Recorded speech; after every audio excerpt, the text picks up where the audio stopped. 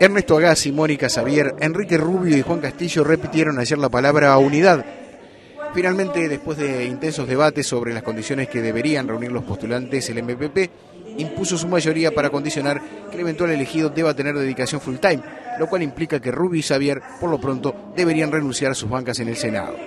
Desde los sectores que responden al vicepresidente Danilo Stori, se cuestiona, en cambio, el criterio del MPP en cuanto a no presentar candidatos propios para evitar una polarización entre los grandes sectores, según señala el espectador. Juan Castillo, nominado por el Partido Comunista, convocó a que estas elecciones sirvan para llegar al año 2014. Por su parte, Ernesto Agassi, candidato por el MPP, llamó una competencia frente amplista donde más allá de perfiles no se deba competir sino sumar.